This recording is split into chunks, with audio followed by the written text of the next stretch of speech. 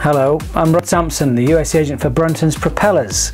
In this video we're going to continue our refurbishment of this Autoprop H6 propeller.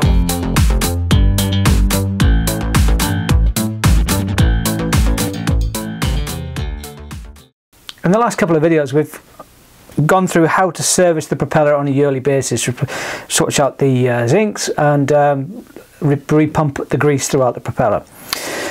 We started to, uh, on the last video, is to start to take off the caps uh, using all the, the uh, tools provided and uh, I uh, was left trying to get as large a hammer as possible and as much leverage as possible to try and strip it down. Anyway, I've been successful using the, the peg spanner. Um, I guess one of the take-homes I've had was the most important thing is to, to be able to grip the blades. And what this I did was actually use some soft jaws on the vise, uh, wrapped leather around the blade so it didn't mark it. And then I we tried to break the uh, seals with just a hammer, um, tap tap tap, um, that didn't quite work.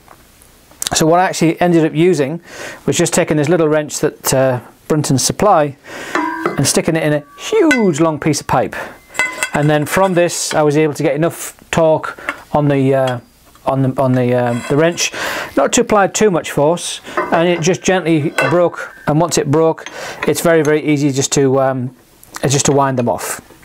So what we'll go through in this video is I'm just going to basically strip down um, we'll probably just do one of the blades um, and just and, just show you how what to expect. I've actually had a go at this one so let's let's have a look at one I haven't had a go at and uh, see how we get on.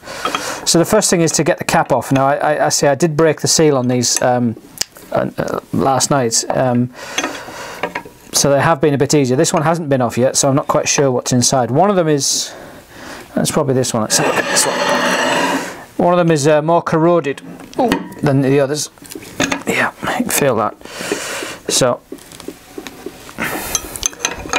as I say the the grease ports, which you can see just on here um, have been painted over severely so it's not clear as to what condition it is in on the inside. And it's just a case of just taking your time and just winding oh, winding the nut off. It's a little awkward to do this because I'm doing it backwards to what I would normally do for the camera. And there we go. It's just popped off. Okay. It's a little o-ring there. It's quite dry. You can see what's happened there. It's inside. So that's not been greased for quite some time. Um, it looks just like that. The o-ring has uh, reached the end of its life. It's, it's kind of hard. But you can see that inside the groove the uh, the bottom paint and the ablative has gone inside and has actually started to bond with the o-ring.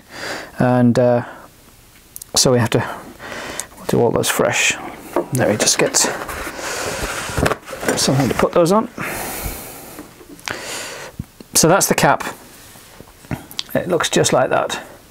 And it's just a bronze cap with an o-ring on just to uh, keep all the grease inside you can see the grease port on the top and there's another one just here that uh, needs a little bit of work on it so the next thing on we need to look at is just to reveal. So this is a, what's called a tab screw. So the little tabs just on like that. Now on this one you may think it says H7, it doesn't actually. It actually says LH left hand. So it's a left-handed thread. So to um, to get it off you go the opposite way. So you're just going to be as though you were tightening it rather than loosening it. And this just helps to keep the uh, to keep everything on. And this one I think will come away. We'll see. Yeah now inside this one uh, when you put it back together you do actually put Loctite on so sometimes it does need a little bit of heat to pull it off and sometimes it does not. So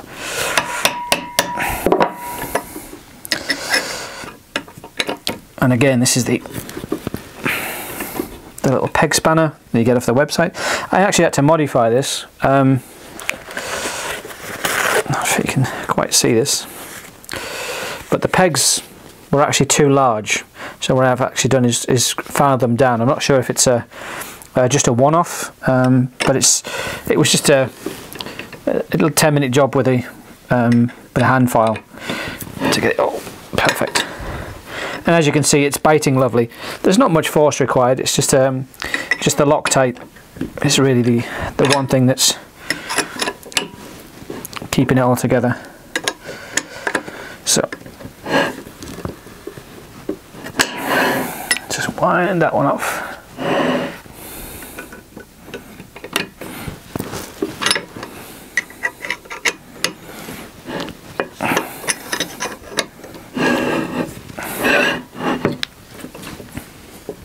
Again, probably the, one of the most important things for this is to have a, a good workbench where you can clamp and hold the propeller.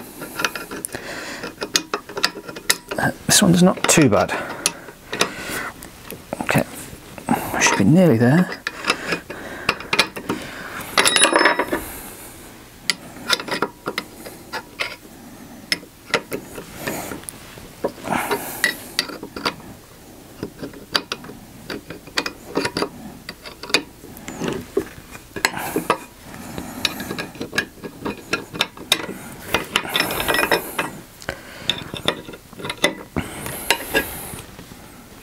Go.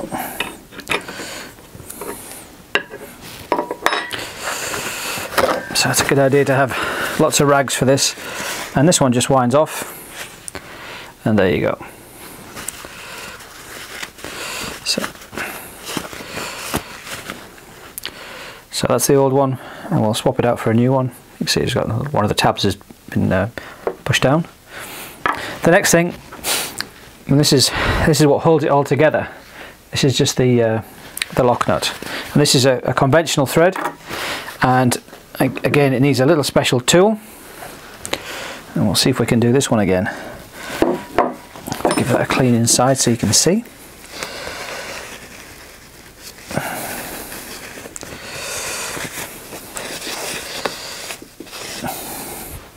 There you go. You can see the bearing just on here, and the, so the nuts. See the little slots for the nut.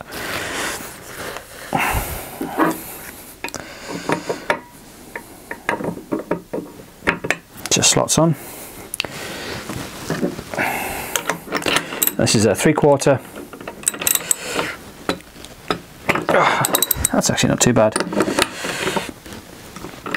Three quarter socket just on this little till and we just wind it away.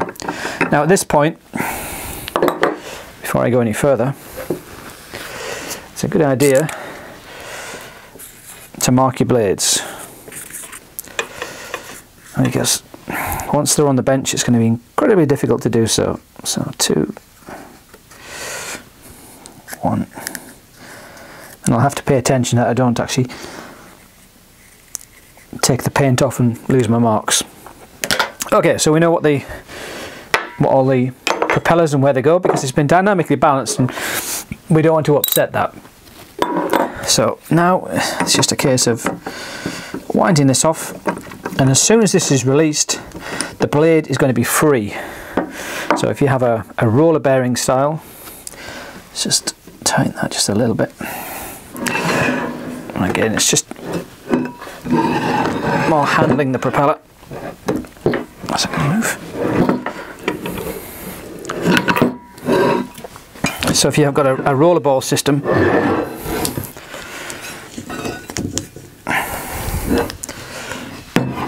is when they can potentially spill everywhere.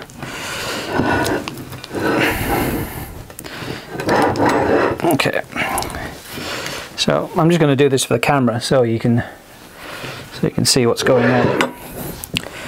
And then inside this one we just pull the nut back. Now the next thing that's going to be exposed this is a taper roller bearing and the blade should slide off, yes it does, with that in place. So you can see Now you can see the lip seal here, that's it's embedded in. You've got the race for the for the thrust bearing, and then inside the blade, this part here, you can see the taper roller bearing, and this all should come out. So these have had a good life. They've been encapsulated in grease, and this is they've been in water, so um, it's it's nice to see that they're in good shape. Um, there's lots of lubrication on them as you can see. It's very gooey and very sticky. So the next thing now is just to start cleaning the grease up. And then once we've cleaned all the grease up, um, we can uh, start inspecting it and see see where we are and whether it needs to go back. I'm just going to come out to uh, the factory for a, a refurbish. Or whether we can just start rebuilding. So it's it's I would say it's quite a for the for the older propellers it's something to be to consider um, that this may be the case. Because what we tend to find is that on this here it's a little pointing device. So on here you tend to find that the um, if, if the zincs have not been kept up it'll crumble and it'll be um, it'll all be corroded and then inside once you start trying to take all the parts out and put all the bearings back in, um, the uh, the races and stuff will be worn as well.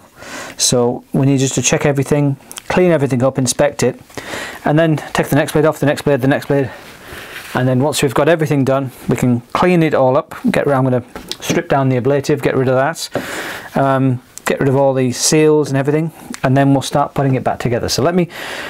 I've done one blade. I'll uh, close this one and uh, I'll uh, go around and do all the other two blades and we'll have it all laid out on the bench so you can see what the fully exploded uh, propeller looks like. Thanks for watching and uh, we'll see you on the next video.